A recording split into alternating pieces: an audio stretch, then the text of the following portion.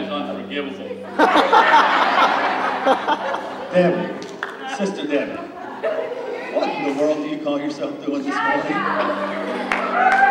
said that we need to be thinking about if we only have 30 days left to live. I've been thinking hard about it, and I always wanted to lead worship, like praise worship. Well, I think you have totally fulfilled that desire this morning.